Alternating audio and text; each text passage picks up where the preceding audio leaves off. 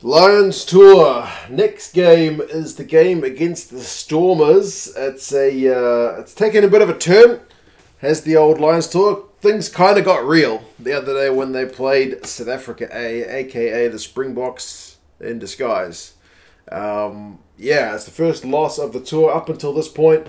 Kind of relatively comfortable wins 28 10 over Japan, and then three very comfortable games 56 14, 54 7, and 71 31 uh, for the most part, you know, easily scoring more than 50 points and not conceding, apart from that first half and that second Sharks game, a whole lot of points. So, um, yeah, Warren Gatland is talking up how good that result would have been for the British and Irish Lions. They're now facing a Stormers team. I will put the squads in the description so you guys can have a look, which has got some pretty familiar names for me. Also, a few kind of new ones. Obviously, the Stormers are missing some of their big guns who are off with the Springboks or South Africa A.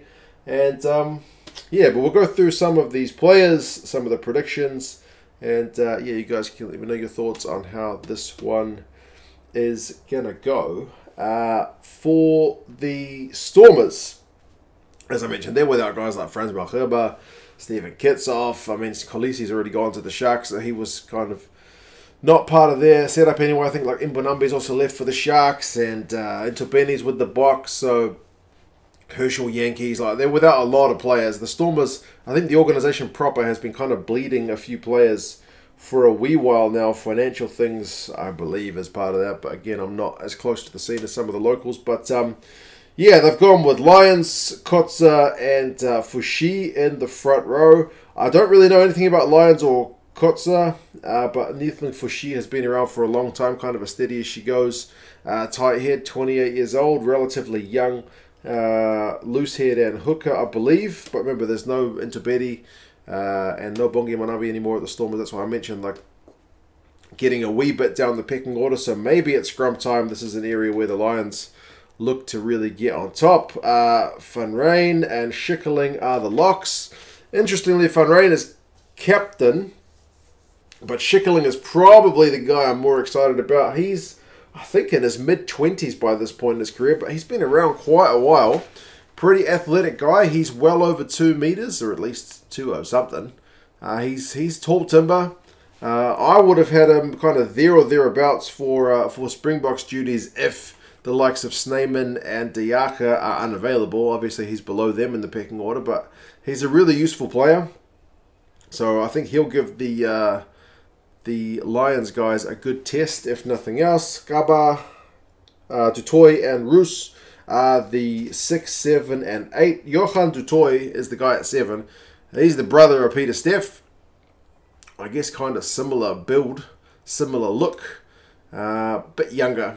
Maybe not quite the uh, the physicality of his older brother, but he's still a pretty useful player. I've seen him play in Super Rugby at least for a couple of years. Uh, Roos is only 21 years old and Xaba are um, 23, so those guys will certainly be fired up. But we have seen thus far the guys who are pretty inexperienced over the course of the 80, the Lions have been able to kind of tear them to bits. Uh, so far, anyway. Um, Masimla is your guy at 9 with Swiel at 10. That's not a hugely inexperienced uh, 19 combo. Both of those guys have kind of been around the blocks, but neither of them, I mean, without wanting to do them a disservice, are like top draw kind of guys. I think both of these guys in their careers are semi kind of journeymen that have found gigs here and there. is pretty quick, and Swiel is, uh, you know, a pretty safe pair of hands, if nothing else, but we'll see how they go. It's important to have maybe an experienced 19 combo in a game like this. Uh, Dan du Plessis and Rikus Pretorius are the 12-13 combo. I'm probably in this whole lineup for the Stormers most excited to see Rikus Pretorius get a go. He's proper wheels, gas man, pretty big guy. Uh, not not like not like uh, real bulky, but quite tall and um, but rangy. He's got enough gas to, to get around the park. Also, Edwill van der Merwe. If you're thinking Kolbe-esque light winger, similar build, similar step on him. If he gets the ball, he could cause uh, he could cause problems. It's a pity he's not up against Duhan van der Merwe because it'd be interesting to see if he's able to get around the big man. Uh, Senatla, the Sevens legend, is there at 14, so a lot of you Sevens fans will be more than familiar with him. And uh, Sergeal Petersen's at 15. I don't know that I've seen him play fullback before. I've certainly seen him play a lot of wing. So yeah, Juan de Jongh is on the bench, Zas is on the bench, but overall, I look at the Stormers squad and there's a few new names for me. As I mentioned, a lot of guys off with the the Springboks. Um, there's a few young guys and uh, a couple of genuine talents, but again, I don't know as much about the depth of the squad as some of the Stormers fans locally in Cape Town will know. Um, but on paper, at least my brief look, it looks a wee bit ominous from what we've seen familiar stories against the Sharks and the Lions, where you get a bunch of young guys thrown at this Lions pack and um, they can't go the course of the 80. That being said, the Lions have made heaps of changes from the previous squad against the uh, South Africa A team. Uh, Sutherland gets a crack at loose head. Cowan-Dickie's up from the bench at hooker, and uh, Furlong is there at tight head. I can't help but wonder if Sutherland and Furlong. I mean, Wyn Jones put in a really good effort, uh, but he's had a stinger on his arm. If he's fit, I think he probably edges it, but maybe Sutherland if not.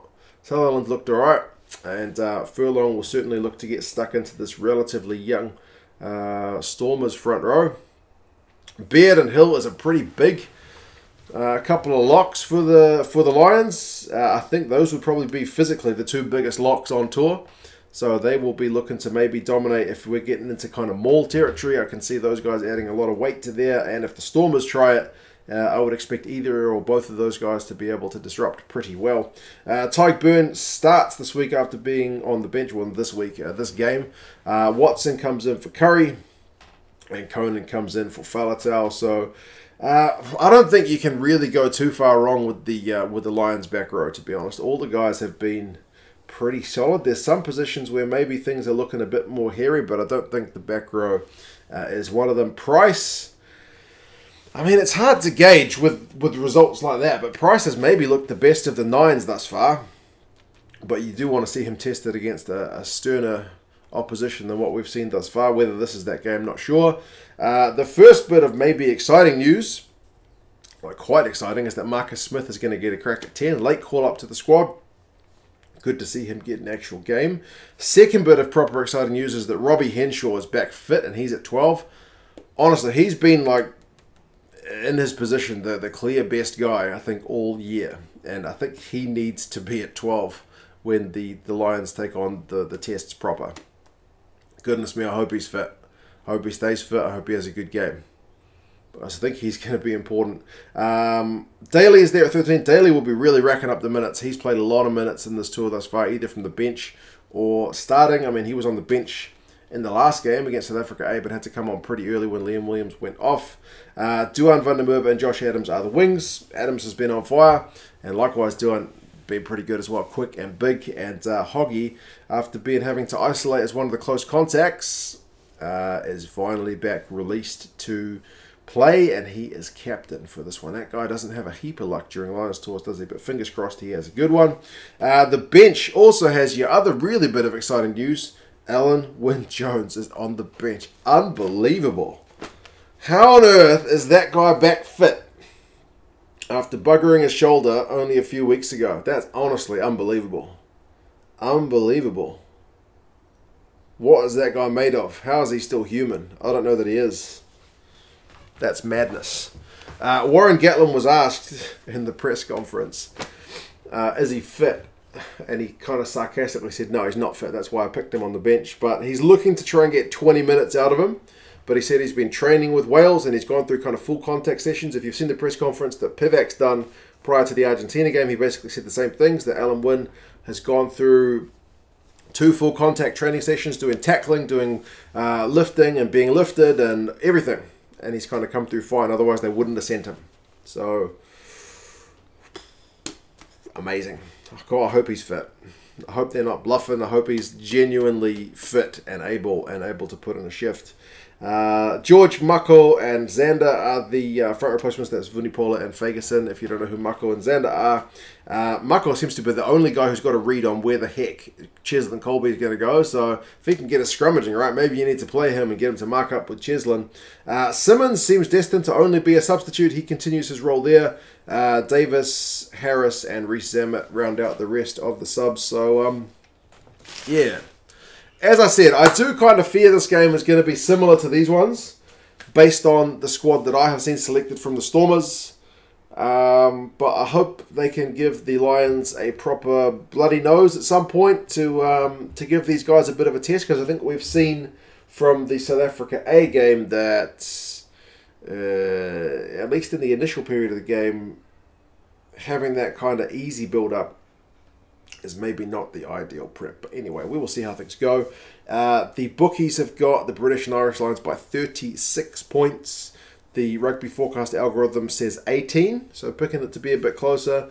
But I would have a feeling that's more if the Stormers had the likes of Kitshoff, Malherbe, Mbonambi, and uh, you know all those other kind of Stormers first line players. With this Stormers lineup, I'm not as convinced, but I'll be happy to be proven wrong.